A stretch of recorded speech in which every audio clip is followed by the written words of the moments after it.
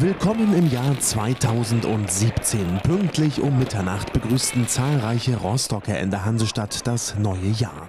Der Himmel wurde minutenlang vom bunten Feuerwerk erhellt. Allerdings mischte sich dann nur wenige Minuten nach Mitternacht das Blaulicht unter die vielen Raketen und Böller. Die Feuerwehren der Stadt mussten zu zahlreichen Mülltonnen, Container und einem Balkonbrand ausrücken. In der Kröpeliner Torvorstadt geriet zudem ein Auto in Brand, vermutlich durch eine fehlgeleitete Silvesterrakete verursacht. Durch das schnelle Eingreifen der Freiwilligen Feuerwehr Stadtmitte konnte Schlimmeres allerdings verhindert werden. Der Brand mit dem wohl größten Schaden in der Silvesternacht ereignete sich in Vorderbollhagen bei Heiligendamm. Am frühen Neujahrstag geriet hier ein Carport in Brand.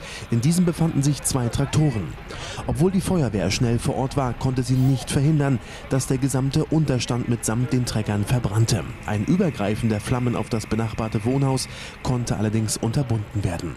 Auch für die Polizei gab es viel zu tun, so mussten die Beamten diverse Male zu Prügeleien und Streitigkeiten ausrücken. Ernsthaft verletzt wurde hierbei aber niemand. Alles in allem kann eine überwiegend positive Bilanz aus der Silvesternacht gezogen werden.